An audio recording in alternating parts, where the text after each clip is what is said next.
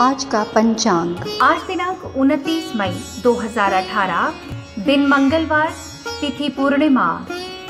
ज्येष्ठ मास है।